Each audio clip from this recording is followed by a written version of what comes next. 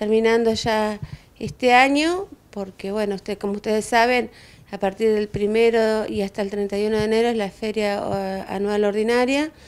este, así que bueno, las actividades son mínimas, son las urgencias, así que bueno, esperando al mes de febrero para poder tener una primera reunión con el Superior Tribunal de Justicia, con el nuevo superior también, como está integrado ahora,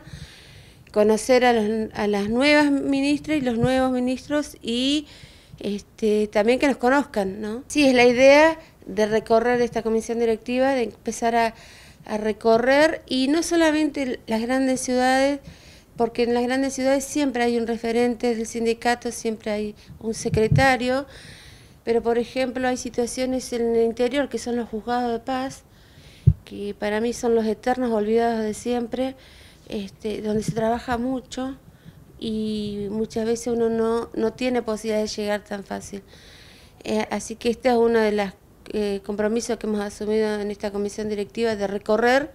en interior eh, a través de los juzgados de paz. la defensa también tiene lugares que de atención al público en interior, así que también recorrer esos lugares.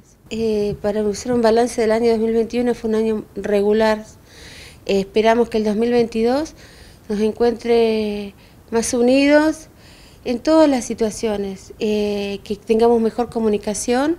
y que realmente este, sea próspero para todos.